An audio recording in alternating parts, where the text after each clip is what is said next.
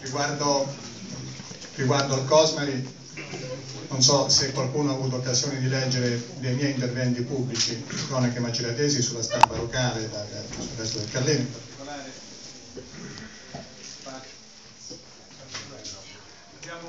apprezzato molto il suo, il suo miei interventi No, un attimo, solo un intervento. Cioè, abbiamo apprezzato molto il suo intervento sul, sul giornale quando lei chiedeva al sindaco che fine aveva fatto le fine di eh, per, per, la scuola qui a Porto Potenza. La ringraziamo perché ha fatto questa, questo, come, come dire, questo, questo, intervento sul suo comune, lei è stato l'unico e noi onestamente gliene diamo atto.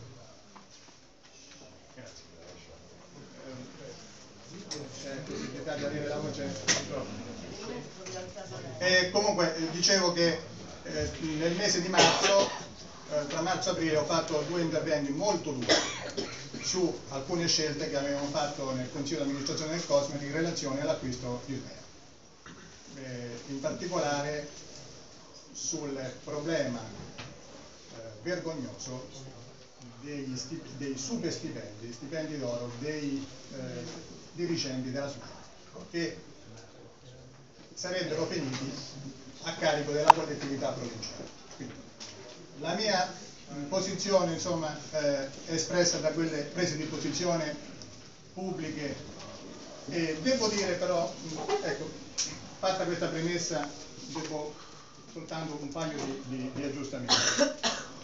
Ecco, per quanto riguarda l'investimento di 14, adesso non so l'entità dell'investimento, comunque del programma eh, se, si, se si fa un investimento per produrre energia elettrica attraverso l'umido, io penso che ci sia un piano industriale che alla fine consente di pagare sia quell'investimento e di trarci qualche utile. Solitamente, solitamente dalla produzione di energia elettrica ci si traggono de degli utili. Quindi si tratta di capire bene con gli incentivi che paghiamo tutti in bolletta. Sì, però sono incentivi, siccome sono incentivi, è possibile avere come sono, sono incentivi che lo Stato mette a disposizione di chi vuole investire, ora se c'è un consorzio pubblico, cioè di proprietà di tutti i comuni e quindi della collettività che fa un investimento di questo e se risulta redditizio, io penso che non ci sia nulla, nulla di male se è redditizio. Uh, un, altro, un, altro, un, altro, punto riguarda eh, il rinnovo del Consiglio di amministrazione. Allora, eh, il Cosmari è andato un rinnovo del Consiglio di amministrazione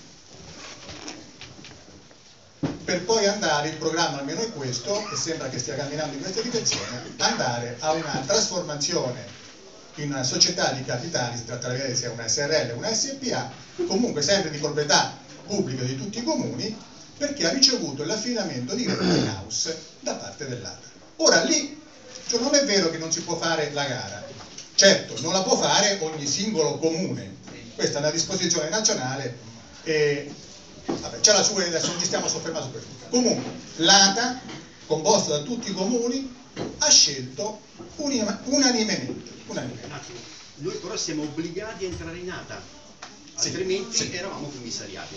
Sì, l'ATA è una cosa obbligatoria. Ha scelto, poteva scegliere due modalità di gara, ok? Oppure l'affidamento in house. Questa provincia è l'unica che ha un gestore pubblico su tutto il territorio provinciale. Non c'è stato un comune che ha proposto di andare a gara eh. io, io personalmente ho un'idea un po' più articolata al riguardo, però prendiamo atto che Ora, qual, qual è il punto importante? È quanto costa al Cosmari smaltire eh, a quintale o come viene eh, valutato lo smaltimento come viene misurato dagli, dagli, altri consorsi, dagli altri gestori. Quello è un punto importante. Ecco, non mi risulta che il Cosmari abbia dei prezzi eccessivamente alti, però su quello, su quello. Allora, se il Cosmari avesse dei prezzi di smaltimento uh, dei rifiuti esorbitante, allora noi avremmo motivo molto valido di criticare la scelta dell'affidamento in house. Allora si va a gara Conosce l'era? e ecco, eh? Conosce l'era? La era, Sì, la conosci? sì. È un 20% più alto. l'era più alta. No, Cosman è rispetto all'era un 20% più alto. Eh, se io non ho i dati, vabbè, non- È anche vero, per dire cose giuste, è anche vero che mentre con era noi smaltiremo e basta, da questa parte noi dobbiamo pagare tutte le spese del consorzio. Quindi non è che noi smaltiamo e basta. Se nel bilancio comunale, varie spese, nelle varie voci di spese, noi abbiamo lo smaltimento dei rifiuti solidi urbani e poi abbiamo un'altra voce che è la voce con cui Porto Potenza, Civitanova Marche e gli altri 57 comuni partecipano alle spese del consorzio. È questo quello che è. Sì, alla fine quello che conta è sì, però il piano, il- per però il piano industriale, però avere un piano industriale nel 2013 che ci dice tranquilli, 2014 che dice tranquilli, adesso abbiamo una bella discarica a Cingoli, lei se è di questa, ho visto che lei è ferrato, io, io dico c'è il modello Vedelaghi, c'è il modello Capannoli. Vabbè, adesso l'ultima cosa poi lascio Sì, perché sì. effettivamente sto parlandomi troppo. Mm, Guardate, una discarica di appoggio ancora serve. Sì, Ecco. per, per- per la, per Cioè, qui nelle, nelle marche, cioè nelle marche, Il problema, il problema come la mettiamo? Se togliamo la discarica, dove portiamo quella parte, e ne sa- ne è tanta, eh? Ne è sì, tanta, no, ma io non dico che che- non riusciamo a riciclare. Allora, l'inceneritore è spento, ok, chiuso, non c'è più. E non, e non è che inceneriva tutto, eh? Lo smaltimento, la- la- il riciclaggio si raggiunge a certi livelli, poi c'è una parte che bisogna smaltire. Dove si porta? Glielo dico io, modello Vedelago. Il Prego. modello Vedelago, ve lo andate a cercare su, su internet, vedete che cos'è. Con il modello Vedelago all'80% di... mi sentono? All'80% di, eh, di, di riciclaggio, il 20% viene portato in questo macchinario, che è un macchinario che lavora a freddo tutti questi prodotti viene fuori un composto. Questo composto poi viene lavorato per farci tavolini, sedie, mattoni, ci si può fare tutto quello che volete. È perfetto, non è assolutamente inquinante, niente. Alla fine di questo processo il 2% del 20%, il 2% va in discarica. E noi nel 2014 insistiamo a dire, eh no, bisogna aprire una bella discarica. Cioè, se no come Cioè, mantenere? ma bisogna essere, cioè, voglio dire, allora, no, ma è, Tutti questi trombati devono andare tutti là. il, no, il discorso è, il discorso è che abbiamo, cioè, c'è un progresso che va avanti, ci sono nuovi sistemi per lavorare i rifiuti, i rifiuti non sono più chiamati rifiuti, sono chiamati materiali, cazzarola. Voi, ad esempio, non lo sapete, adesso vedevo anche questa, voi ci avete un- un'isola ecologica, un centro di raccolta, bene. Civitanova c'era lo stesso, quindi facendo le mie popolazioni fa- vedete voi i conti che scappa fuori.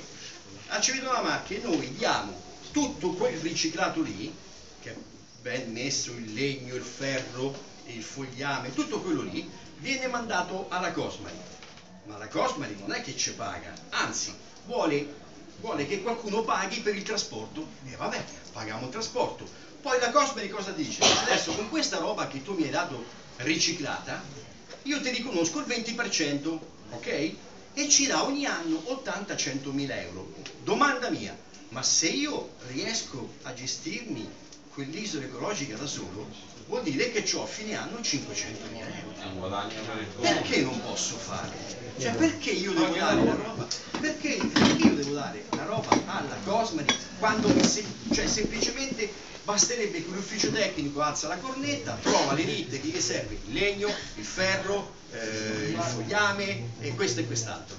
Io questo è quello che contesto. Anche perché ho sentito parlare solo di costi e non di guadagni che stanno dietro alla differenziata. Scusa, Fabio quando ha chiuso il bilancio del Cosmari l'anno scorso? Meno? Meno?